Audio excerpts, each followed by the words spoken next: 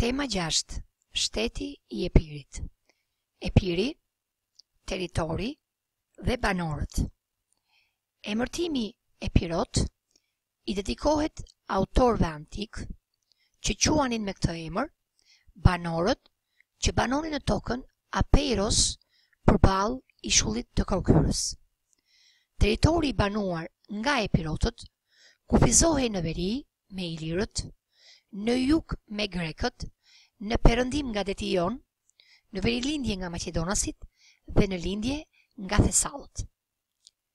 Kjo shtrirje territoriale bënte që epirotët të ishin në kontakt direkt me qytetërimin grek, por edhe me shtete të fuqishme për kohën, si mbretëria ilire në veri dhe ajo maqedone në verilindje.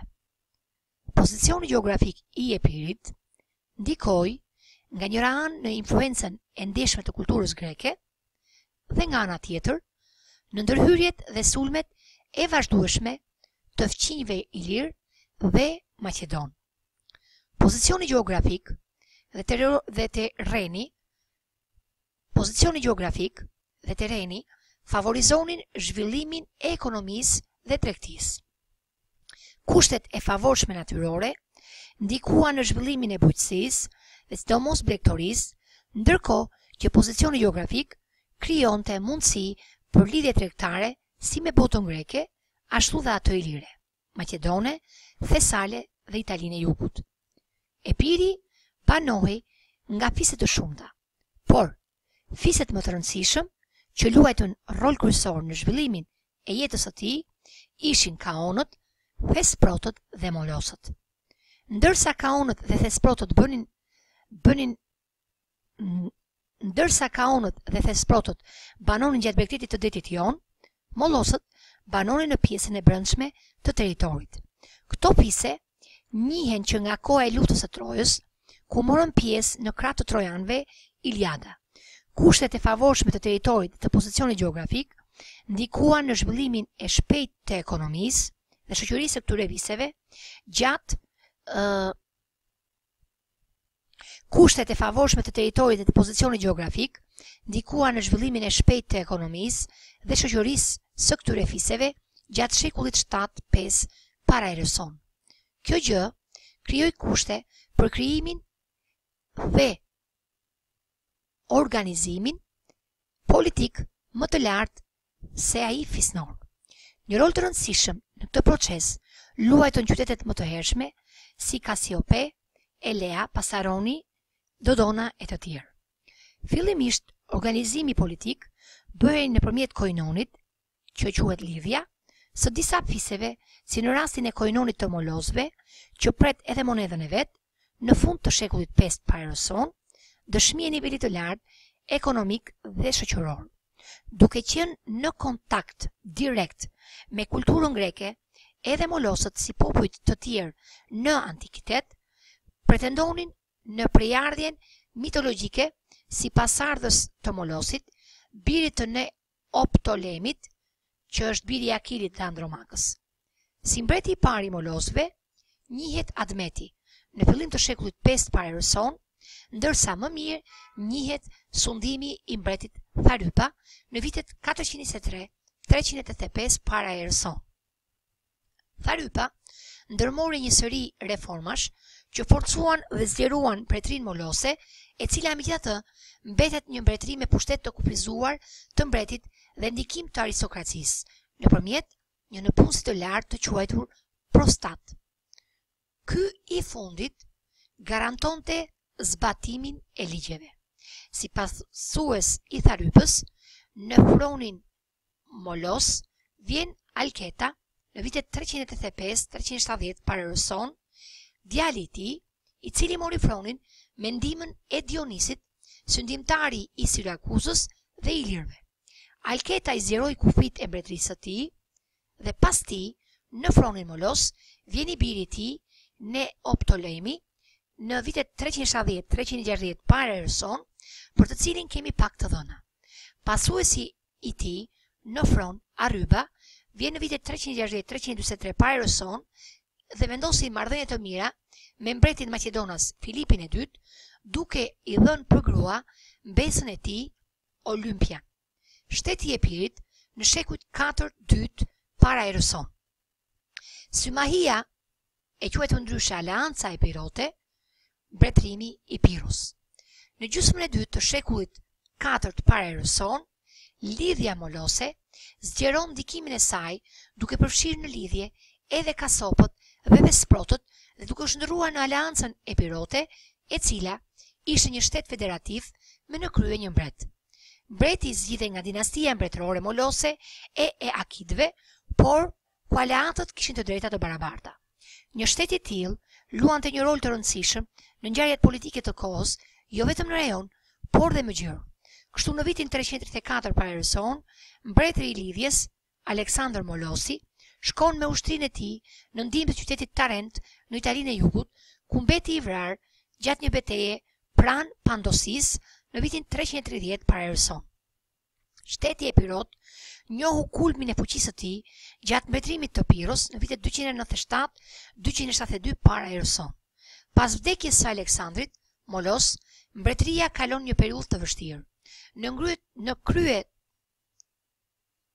Në krye të mbretërisë epirote erdhi e shoqja e Aleksandrit Molos, Kleopatra, në vitet 330 328 para erës sonë, e cila u dëbua nga froni dhe në krye të mbretërisë u vendos Neoptolemi i dytë, ende i mitur, dhe pas tij pushtetin e mori Ajakidi, Ndërkohë, në vitin treqind e shtatë para erës sonë, mbreti ilir Glaukja vendosi në fronin epirot Piron dymbëdhjetëvjeçar, të cilin e kishte strehuar në oborrin ilir që në moshën dyvjeçare.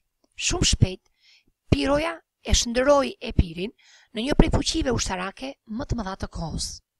Dëshmi e kësaj fuqie ishte edhe fushata e tij në Itali në vitin 280 para erës sonë, ku përdori me sukses edhe elefantët si kafshë lufte. Pavarësisht sukseseve të para në Itali, Pirua u detyrua të kthehet në atdhe, ku vazhdoi politikën e zgjerimit të kufijve, në një nga këto beteja në Argos të Greqisë, humbi jetën në vitin 272 para erës sonë. Pas vdekjes së Piros, në krye të Epirit vjen i biri, Aleksandri i Dytë, në vitet dyqind e shtatëdhjetë e një të dyqind e tridhjetë e katër para erës sonë, i cili u përpoq të ruante territoret e pushtuara nga i ati. Pas vdekjes së tij, në krye vjen mbretëresha Deja, Dejadema, sundimi i së cilës qe i shkurtër. Ajo u vra gjatë një kryengritjeje që i dha fund sundimit të mbretëve eakidë dhe Epiri u shndërrua në republikë me kryeqytet Foiniken. Për shkak të qëndrimit pro-maqedonas dhe anti-romak në vitin njëqind e gjashtëdhjetë e shtatë para erës sonë, Epiri u shkatërrua nga ushtria romake, e cila rrafshoi shtatëdhjetë qytete dhe ktheu në robër rreth njëqind e pesëdhjetë mijë epirotë. Këtij shkatërrimi i shpëtoi vetëm Kaonia, e cila mbajti qëndrim proromak. Epiri dhe ilirët. Pozicioni gjeografik i Epirit midis Greqisë dhe Ilirisë bëri që marrëdhëniet e tij me ilirët të ishin të veçanta. Ky pozicion gjeografik ka bërë që studiues të ndryshëm të përpiqen t'i konsiderojnë banorët e Epirit si grekë apo ilir. Konfuzioni vjen që nga antikiteti, pasi edhe autorët antikë nuk janë shumë të qartë lidhur me përkatësinë etnike të epirotëve. Megjithatë, vetë ata na bëjnë me dije se Helada fillon përtej gjirit të Ambrakisë, pra këto janë të dhëna prej Strabonit, në shekullin e tetë, Efori thotë se fillimi i Helladës është Akarnania nga ana e perëndimit, sepse kjo i takon e para me fiset epirote, çka presupozon se Epiri nuk ishte pjesë e Helladës. Po sipas Strabonit, në librin e shtatë, ata që kalojnë këtë rrugë, rrugën Egnatia, duke u nisur nga viset pranë Epidamnit dhe Apollonisë, në të djathtë kanë fiset e Epirit që lagen nga deti i Siçilisë gjer në gjirin e Ambrakisë. Po i njëjti autor Straboni në librin e shtatë na bën me dije se thrakët, ilirët dhe epirotët edhe sot banojnë në krahinat anësore të Heladës, të Helladës, shumë më tepër se më parë sesa tani që barbarët kanë pjesën më të madhe të Helladës së sotme. Cilësimi i prejardhjes pellazgjike të epirotëve dhe emërtimi i tyre si barbarë, popullsi jo-greke nga autorët antikë grekë mjafton për t'i konsideruar epirotët si popullsi jo-greke. Ndërkohë, Ka dhe autorë antikë që i konsiderojnë epirotët ilirë. Po të marrim në konsideratë të dhëna të tilla si prejardhja pellazge, fqinjësia territoriale me fise ilire të identifikuara qartë si të tilla, konsiderimi nga autorët antikë grekë të tyre si barbarë, pra jo grekë, atëherë kemi argumenta t'i konsiderojmë epirotët ilirë që u zhvilluan në kushte të ndryshme nga fise të tjera ilire. Fakti që kultura greke gjeti për, gjeti përhapje të gjërë në Epir për shkak të afërsisë gjeografike, nuk presupozon se epirotët ishin grekë, pasi kultura helene u përhap dhe në Iliri, Maqedoni, Italinë e Jugut dhe gjithë Mesdheun e saj, në, në, në, dhe në gjithë Mesdheun në sajë të kolonizimit grek duke filluar nga shekulli i nëntë para erës sonë dhe me pushtimet e Aleksandrit të Madh deri në Indi, por askush s'mund t'i konsiderojë ilirët, maqedonët, banorët e Italisë së Jugut e deri në një pjesë e indianëve si banorë me origjinë greke. duke qenë një popullsi ndërmjet grekëve dhe ilirëve dhe e ndikuar më shumë nga kultura greke, epirotët ndikuan në përhapjen e kulturës greke krahas kolonive, sidomos tek banorët ilirë më pranë tyre, Iliria e Jugut, kjo dëshmohet edhe nga të dhënat arkeologjike, sipas të dhënave të të cilave qytetet e Ilirisë së Jugut u ndikuan më shumë nga kultura helene si në urbanistikë, arkitekturë, numizmatikë, Që është prerja e monedhave.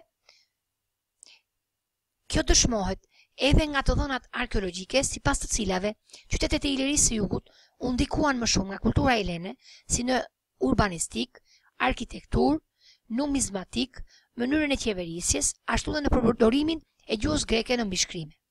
Ashtu si në rastin e ilirëve, edhe tek epirotët, ndikimet kulturore helene nuk presupozojnë përkatësinë etnike të tyre.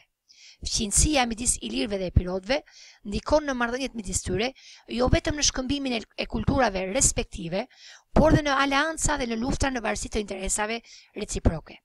Është me interes fakti se në marrëdhëniet midis ilirëve dhe epirotëve ka patur më pak konflikte sesa midis ilirëve dhe maqedonasve, gjë që na bën të mendojmë se ndofta nuk e konsideronin palën tjetër si armike apo si kundërshtare.